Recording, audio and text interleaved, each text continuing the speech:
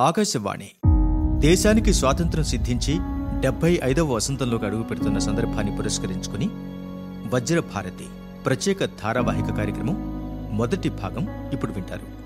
ఈ వారం విశ్లేషకులు డాక్టర్ సంగనభట్ల నర్సయ్య నిర్వహణ శ్రీ ఎన్ విష్ణువర్ధన్ రెడ్డి సహకారం శ్రీ సాయి రఘునాథ చరణ్.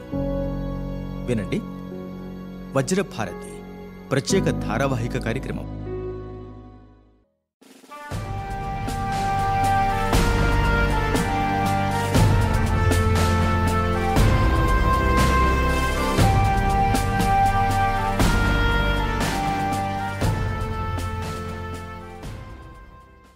శ్రోతలకు నమస్కారం. వజ్రభారతి ప్రత్యేక ధారావాహిక కార్యక్రమం మొదటి సంచికకు స్వాగతం. అతి పురాతనమైన నాగరికత సంస్కృతులకు ఆలవాలం భారతదేశం. మన సంస్కృతిలో అంతర్లీనమైన సువిశాల దృక్పథం అందరిలో ఉన్నతమైన ఉదాత్తమైన భావనలు కలిగించి ఆదర్శ జీవనానికి ఉపయోగపడే మానవతా విలువలను అందించి సమాజ అభ్యుదయానికి సరైన మార్గనిర్దేశనం చేసింది. ప్రపంచంలోని ఇతర దేశాలు మాట్లాడటం కూడా నేర్చుకోని కాలంలోనే భారతదేశం ప్రపంచ వాంగ్మయ రంగంలో ప్రథమ స్థానాన్ని అలంకరించి తత్వ భాండాగారాలైన వేదాలను దర్శించింది. అందుకే India is the cradle of the human race the birth place of human speech the mother of history the grand mother of legend and the great grand mother of tradition our most valuable and most artistic materials in the history of man are treasured up in India only అన్నారు ప్రముఖ American రచయిత mark Twain అంతటి మహోజ్వల చరిత గల భారతదేశం స్వరాజ్యం సాధించి అమృత మహోత్సవాలు జరుపుకుంటున్న తరుణంలో ఈ శ్రీ పురాణ ధాత్రికి వందనం. శ్రీ పురాణ ధాత్రికి మా భారతీయ మాతకి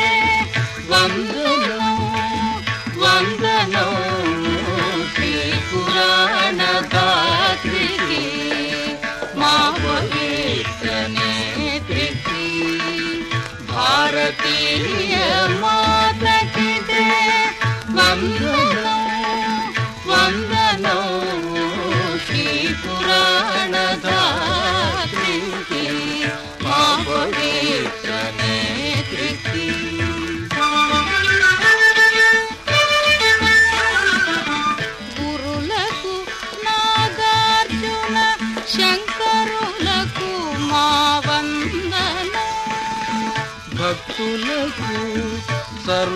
కళా సతులకు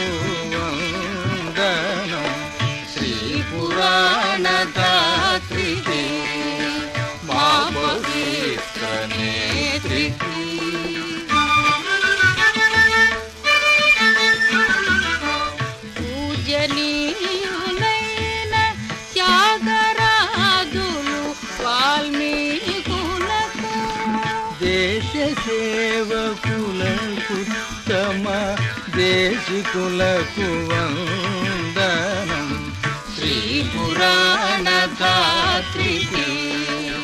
मा गीर्तने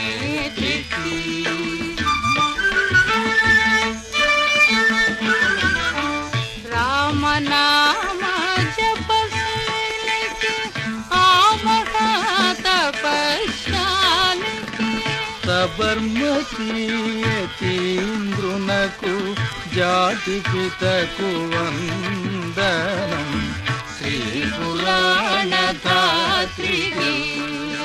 మా పవిత్ర నేత్రికి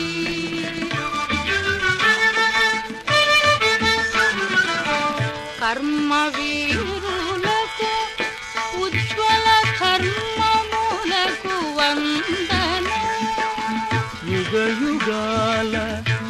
्युदय प्रगति मा वन्द्री पुरा दाति मा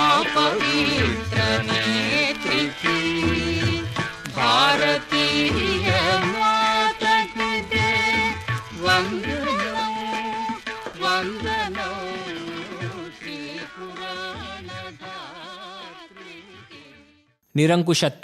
భారతీయ మాతకి దోపిడీ అణువణువునా నిండిన వలస పాలకులకు బెదురు పుట్టించి వారి నిష్క్రమణకు నాంది పలికి అనంతరం స్వతంత్ర సంస్థానాలను విలీనం చేసి స్వతంత్ర భారత్ అఖండ భారతముగా అవతరించిన గాథను వివరిస్తున్నారు ప్రముఖ సాహితీవేత్త సుప్రసిద్ధ చరిత్ర పరిశోధకులు డాక్టర్ సంగనబట్ల నరసయ్య గారు.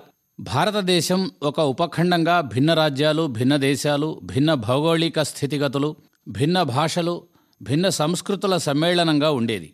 ఇంత వైవిధ్యం ఉండి కూడా వేదాలు ఉపనిషత్తులు ధార్మిక గ్రంథాలు వ్యాస వాల్మీకాది ఋషిప్రోక్త గ్రంథాలు ఆర్ష విజ్ఞానం ఈ జాతిని ఒక్కటిగా నిలిపాయి. బ్రిటిష్ దేశపు ఈస్ట్ ఇండియా కంపెనీకి పూర్వం ఈ దేశ సౌభాగ్యం ప్రపంచ దేశాలకే నోరు ఊరించేది.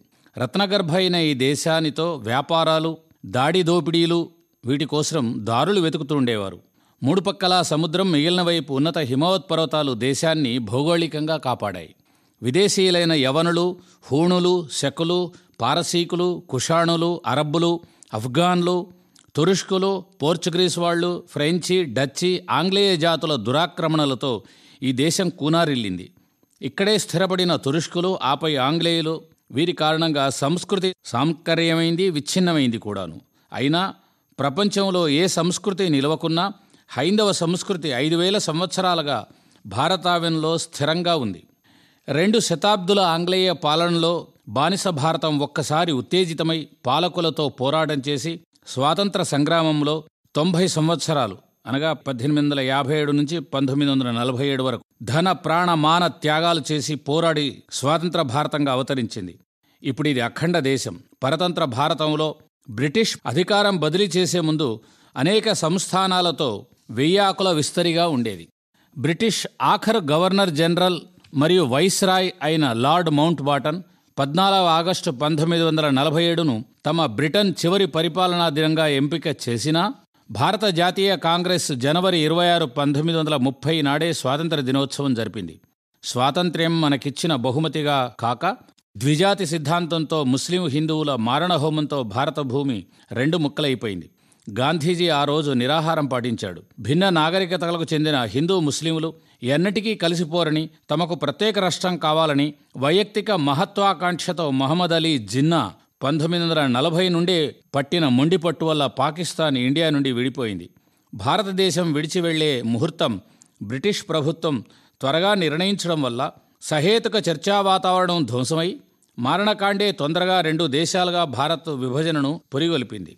నెహ్రూ ప్రధానిగా పటేల్ అతని అనుచరుడిగా అనూహ్యంగా స్వతంత్ర భారతంలో రాజ్యాధికారం పొందినారు.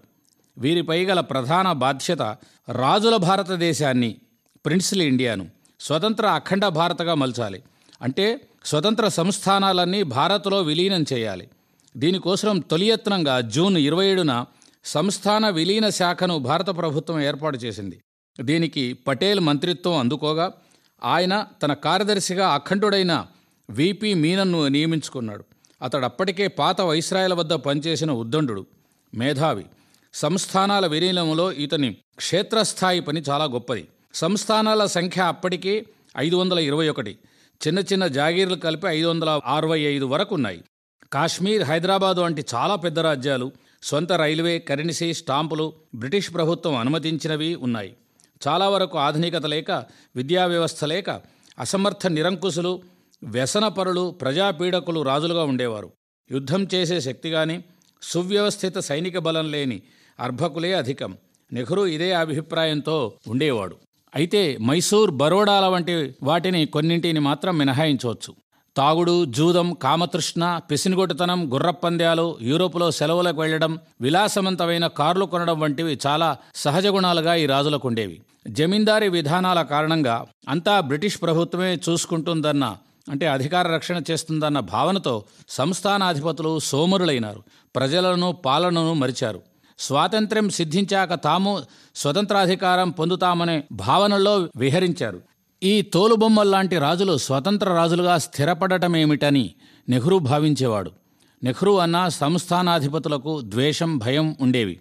అదృష్టవశాత్తు సంస్థానాల విలీనత అఖండ భారత నిర్మాణం సర్దార్ వల్లభాయ్ పటేల్ బాధ్యతగా మారింది. ఆయన తన దక్షత సమయోచితజ్ఞత ప్రాగ్దృష్టితో వ్యవహరించాడు. దూరదృష్టితో అవసరమైనప్పుడు కాఠిన్యాన్ని ప్రదర్శించాడు. పటేల్ సంస్థానాధిపతులకు విందులిచ్చి రాజ్యాంగ నిర్మాణానికి కాంగ్రెస్తో రాజీపడమని అభ్యర్థనలు లేఖలు రాశాడు. బికనీర్ మహారాజు తొలిరాజుగా ఈ యజ్ఞానికి మద్దతు పలికి రాజ్యాంగ సభలో చేరమని తోటి రాజులకు విజ్ఞప్తి చేశాడు. దేశభక్తులుగా భరతమాత పుత్రులుగా నిలబడమన్నాడు. బికనీర్తో పాటు చాలా రాజస్థాన్ రాజ్యాలు పాకిస్తాన్ దేశానికి పొరుగుగా ఉన్నవి ముందుకు వచ్చాయి. బరోడా రాజ్యాంగ సభలో చేరింది. జూలై ఐదున సంస్థానాదేశాలను అభ్యర్థిస్తూ రాజు ఓ స్టేట్మెంట్ ఇచ్చాడు. సంస్థానాలతో పోరాటం కోసం పంతొమ్మిది వందల నలభై ఏడు జూలై తొమ్మిదిన పటేల్ నెహ్రూల అభ్యర్థన మేరకు లార్డ్ మౌంట్ బాటన్ జూలై ఇరవైన సంస్థానాధీశుల సభను ఏర్పాటు చేశాడు. సభలో సంస్థానాధీశులను భారత ప్రభుత్వంతో సంబంధాలు పెట్టుకోమని లేకుంటే అరాచకం ప్రబలుతుందని హెచ్చరిక చేశాడు. దాని నుండి పారిపోవడం కూడా భౌగోళికంగా అసాధ్యమని చెప్పాడు. ప్రజలు పూర్తి ప్రజాస్వామ్యం కోసం ఉద్యమం మొదలుపెట్టారు. మైసూర్ కథియావార్ ఒరిస్సాలలో నిరసనకారులు ప్రభుత్వ కార్యాలయాలను కోర్టులను జైళ్ళను స్వాధీనం చేసుకున్నారు. ఈ ఉద్యమ తీవ్రతను భారత ప్రభుత్వం పక్షాన పటేల్ ఓ హెచ్చరికగా చేసి సంస్థానాధిపతులను భారత యూనియన్లో విలీనం కమ్మన్నాడు. రాజులు తమ బిరుదులు బ్రిటిష్ వారిచ్చినవి గౌరవించబడతాయని సాలుసరి భరణం ఉంటుందని తాయిలాలు పెట్టాడు. పంతొమ్మిది వందల నలభై ఏడులో విపి మీనన్ సంస్థానాధీశులు అందరినీ కలిసి దేశమంతా తిరిగి విషయాలను వివరించాడు.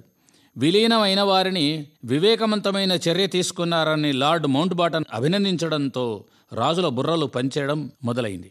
సంస్థానాల ఆదాయాన్ని బట్టి రాజభరణం ప్రీవీపర్స్ నిర్ణయమయ్యేది. సంప్రదింపులు హెచ్చుతగ్గులు రాజుల అహంకారాల శమనోపాయాలు మామూలే. బిరుదులు తమ పుత్రులు లేదా వారసులకు ఇవ్వవచ్చు. పటేల్ రాజభరణానికి నమ్మకం కోసం చట్టబద్ధత లేదా రాజ్యాంగ హామీకి కూడా ముందుకు వచ్చినా రాబోయే భవిష్యత్తు ఫలితాల దృష్టితో మీనన్ సలహాపై మౌనం పాటించాడు. సంస్థానాధిపతుల్లో అనుకూలులను ముందు చేర్చుకొని బలం చేకూర్చుకొని మిగతా వారికి కనువిప్పు చర్యలు చేపట్టినారు. ఇది ఒక వ్యూహాత్మక సమరమైంది. కొత్త బిరుదాలు కొత్త పదవులు రాష్ట్ర గవర్నర్ పదవులు ఇచ్చారు. వారి వ్యక్తిగత సంపద వారికే ఉంచి వారి భూభాగాలు మాత్రం విలీనపరచమన్నారు. స్వాతంత్రంకు ముందు చాలా సంస్థానాలు యూనియన్లో విలీనమైన ఒక ఆరు సంస్థానాలు మొండికేశాయి. బ్రిటిష్ అధికారం హక్కు కాంగ్రెస్సు అంటే యూనియన్ ప్రభుత్వంకు ఎందుకు చెందాలని తిరువాన్కూర్ సంస్థానం ప్రశ్నించింది. పదిహేనవ ఆగస్టు పంతొమ్మిది వందల నలభై ఏడు నుండి తమది స్వతంత్ర దేశం అవుతుందని సంస్థానం దివాన్ sir C P Ramaswami Iyer ప్రకటించాడు. మహమ్మదాలి జిన్నా దీన్ని ఆహ్వానిస్తున్నానన్నారు. జూలై ఇరవై ఒకటిన మౌంట్ బాటన్తో దివాన్ చర్చ జరిపాడు. నాలుగు రోజులకు ఓ వ్యక్తి ఆయనను కత్తితో పొడిచాడు. దివాన్ భయపడి రాజుకు విలీనపు సలహాను ఇవ్వగా మహారాజు జూలై ముప్పైన అంగీకరించి ప్రకటించినాడు. భోపాల్ సంస్థానములో ముస్లిం నవాబు పాలకుడుగా హిందూ జనాభా అధికంగా ఉండి జిన్నాకు సన్నిహితంగా ఉన్న రాజు. ప్రపంచ ముస్లింల సంక్షేమం కోసం అంటూ విలీనానికి తిరస్కరించాడు. మౌంట్ బాటన్ ఉత్తరం రాసినా సంస్థానాధీశుల సభకు ఆహ్వానం పంపినా కమ్యూనిస్టుల బూచి చూపి తిరస్కరించిన నవాబు చివరకు విలీనానికి తన గాఢ స్నేహితుడైన మౌంట్ బాటన్ సూచనకు లొంగిపోయినాడు. జోధపూర్ రాజు ముందు విలీనానికి ఇష్టపడి తర్వాత ప్రలోభపడి జిన్నాతో సమావేశమైనాడు. కెఎం పన్నీకర్ హెచ్చరికతో పటేల్ రాజు కోరిన అస్త్రాల దిగుమతికి హామీ ఇచ్చి సుముఖుండి చేశాడు. ఇతడు గనక తిరస్కరిస్తే జైపూర్ ఉదయ్పూర్ సంస్థానాలు విలీన వ్యతిరేక కూటమిలో ఉండి అటువైపు బలం పెరిగేది. జైసల్మేర్ రాజు కూడా ఇతనికి పాకిస్తాన్లో చేరితే జరిగే పరిణామాల గూర్చి చెప్పి నచ్చజెప్పాడు. అయినా చివరిలో సంతకం చేసే ముందు సెక్రటరీ తలకు రివాల్వర్ గురిపెట్టి తన కసిని తన అయిష్టాన్ని ప్రదర్శించి చివరకు తలవొగ్గాడు. జునాగఢ్ పాలకుడు మొహబత్ ఖాన్ శునకప్రియుడు. అది హిందూ జనాభా అధికంగా ఉండే సంస్థానం. శునకాలకు పెళ్ళి చేసి మూడు లక్షలు వెచ్చించిన ఈ రాజు జిన్నాకు సన్నిహితుడు. యూరోప్లో గడిపి వచ్చిన రాజు స్వాతంత్ర దివసానికి ముందు రోజు తాను పాకిస్తాన్లో చేరుతున్నానని ప్రకటించాడు కూడా. పాకిస్తాన్ కొన్ని వారాలు ఆలోచించి పదమూడు సెప్టెంబర్న తన దేశంలో విలీనానికి అంగీకరించింది. వల్లభాయ్ పటేల్ దీంతో తీవ్ర ఆగ్రహం చెందాడు. ఆయన ఆ ప్రాంతం వాడే. ఆయన ఆ సంస్థానపు రెండు చిన్న సామంత రాజ్యాలను భారత్లో కలుపుకొని రాజును వ్యతిరేకించేందుకు వారికి సాయంగా సైన్యాన్ని పంపాడు. ఈ రాజ్యానికి సమాంతర ప్రభుత్వం నడుపుతున్నట్టు ప్రకటించి సామల్దాస్ గాంధీ బొంబాయిలో అధికార కార్యాలయం తెరిచాడు. నవాబు భయపడి కరాచీ పారిపోయాడు. దివాన్ సర్షా నవాజ్ సంస్థానంలో ఒక్కడే మిగిలాడు. జిన్నాను అర్థిస్తూ దివాన్ అక్టోబర్ ఇరవై ఏడున లేఖ రాశాడు కూడా. చివరికి విధిలేక నవంబర్ తొమ్మిదిన విలీనం చేశాడు. పంతొమ్మిది వందల నలభై ఎనిమిది ఫిబ్రవరి ఇరవైన ప్రజాభిప్రాయ సేకరణలో ఈ సంస్థానంలో తొంభై ఒక్క శాతం ప్రజలు భారత్లో విలీనానికే ఓటు వేశారు.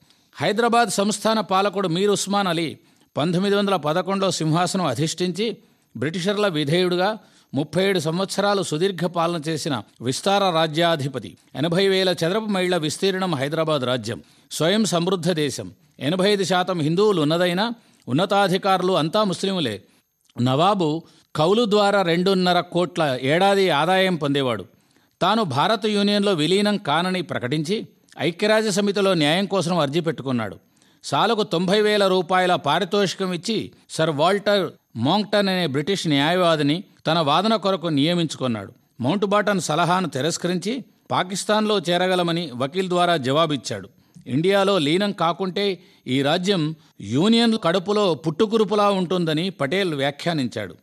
ఇత్తెహాదుల్ నాయకుడు కాసిం రజ్వీ పారామిలిటరీ వ్యవస్థను రజాకార్ పేరున ఏర్పాటు చేసి ప్రజాహింస మొదలుపెట్టాడు. కమ్యూనిస్టులు జమీందారీ భూములను స్వాధీనం చేసుకొని పేదరైతులకు పంచే విప్లవం మొదలైంది. జాతీయ జెండా ఎగరవేసిన వారిని నేరస్తులుగా అరెస్టు చేసి జైళ్ళలో పెట్టారు. రజాకారులు నిజాం ఆకాంక్షకు మద్దతుగా నిలిచారు. బ్రిటన్లో కన్జర్వేటివ్ పార్టీ దీనికి వత్తాసు పలికింది. జిన్నా ఏకంగా పది కోట్ల మంది మహమ్మదీయులు ఎదురు తిరుగుతారని మౌంట్ బాటన్ను హెచ్చరించాడు. యథాతథ ఒప్పందం అంటే బ్రిటిష్ ప్రభుత్వ కాలపు హక్కులతో ఉన్నటువంటిది దీనికి సుముఖుడైన రాజు మీర్ లాయక్ అలీని కొత్త దివాన్గా నియమించుకున్నాడు.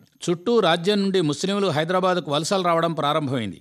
హైదరాబాద్ రాజ్యానికి భారత ప్రభుత్వపు ఏజెంట్ అంటే రాయబారిగా ఉన్న కేఎం మున్షి నిజాం మోసాల్ని దుష్ప్రవర్తనలపై నివేదికల్ని కేంద్ర ప్రభుత్వానికి పంపించాడు. లాయక్ అలీ మీనన్లు చర్చలు చేసుకున్నారు. కానీ విఫలమైనాయి. మాజీ దివాన్ సర్ మిర్జా ఇస్మాయిల్ నవాబుకు ఇండియాలో చేరిపోమ్మని దుర్మార్గులైన రజాకారుల కబంధహస్తాల నుండి బయటపడమని సలహా ఇచ్చాడు. ఇరవై ఒకటి జూన్ పంతొమ్మిది వందల నలభై ఎనిమిదిలో లార్డ్ మౌంట్ బాటన్ తన గవర్నర్ జనరల్ పదవికి రాజీనామా చేసి లండన్ వెళ్ళిపోయాడు.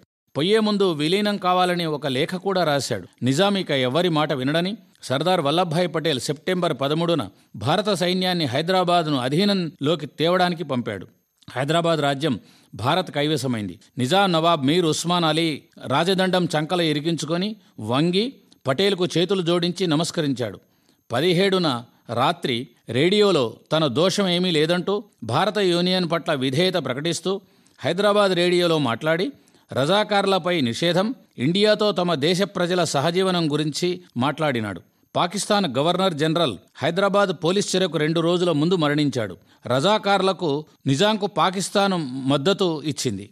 ఒక దేశంలోనే మరొక దేశంపై యుద్ధానికి దిగిన ఈ సంఘటన పూర్వం చక్రవర్తిని తిరస్కరించిన సామంతునిపై చక్రవర్తి యుద్ధం చేసి గెలిచి విధేయుణ్ణి చేసుకున్న ఒక చారిత్రక ఘటనగా పేర్కోవచ్చు. ఇలాంటిది మరి ఏ సంస్థాన విలీనంలో కూడా జరగలేదు.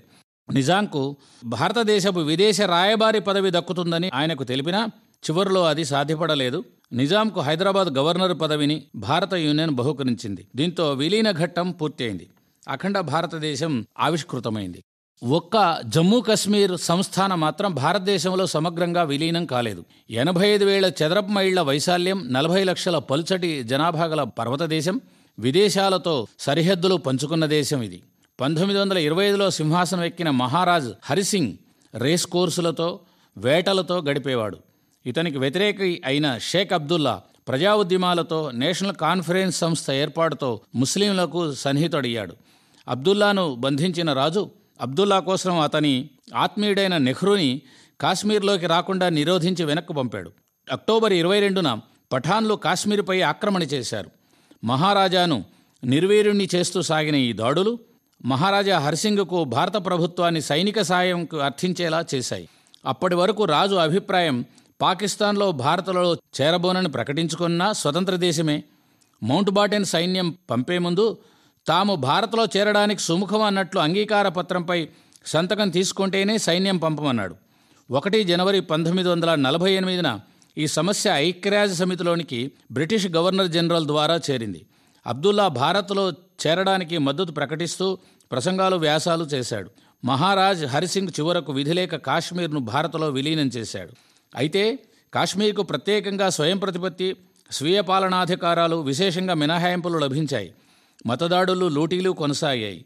స్వతంత్ర దేశంగా ఉంచాలనే పోరాటాన్ని తీవ్రవాదాన్ని పాకిస్తాన్ సహకరిస్తూ వచ్చింది. గతంలో ద్వంద్వ విధానంలో ఉన్న ఈ ప్రాదేశిక అర్ధ స్వతంత్ర రాజ్యం నేడు భారత్లో పూర్తిగా విలీనమైంది. ఇక్కడితో స్వతంత్ర భారత్ అఖండ భారత్గా అవతరించే గాథ సంపూర్ణమైందని భావిద్దాం.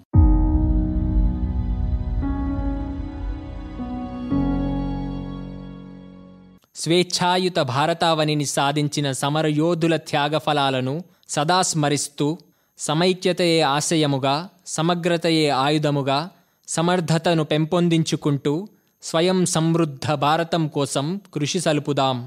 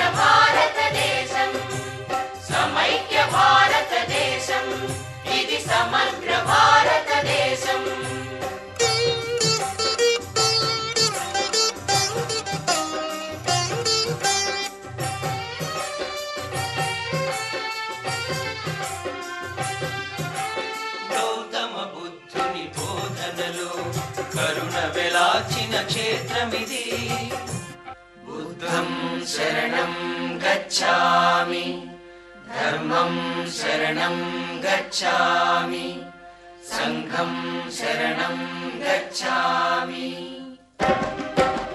గౌతమ బుద్ధుని బోధనలు కరుణ వెలాచిన క్షేత్రమి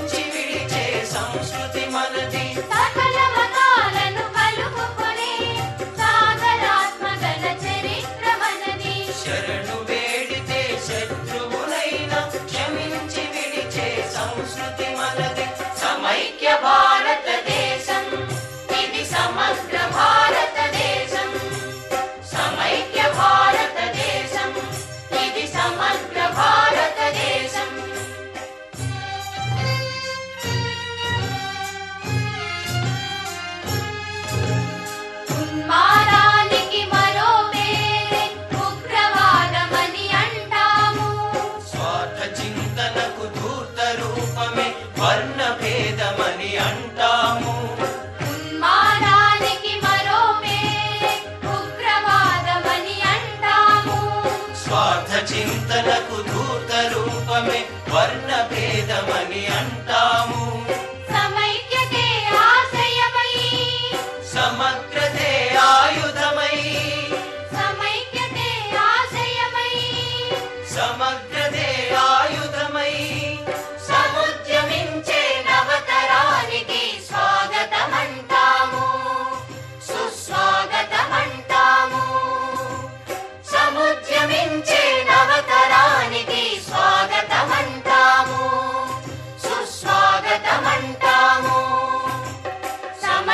भारतदेशम्। यदि समग्रभार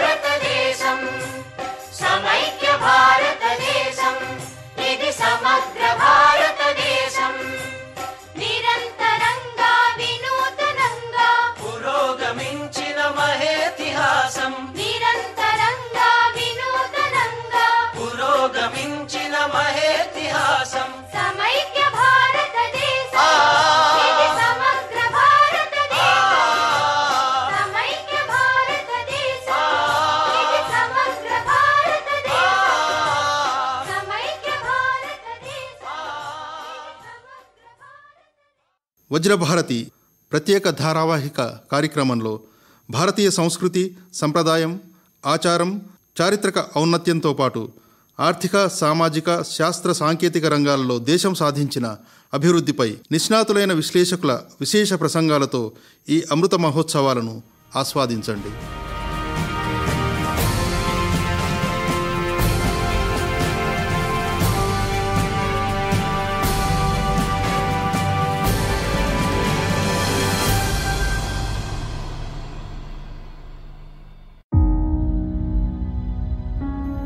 దేశానికి స్వాతంత్రం సిద్ధించి డెబ్బై ఐదవ వసంతంలోకి అడుగు పెడుతున్న సందర్భాన్ని పురస్కరించుకుని వజ్రభారతి ప్రత్యేక ధారావాహిక కార్యక్రమం మొదటి భాగం మీరింతవరకు విన్నారు.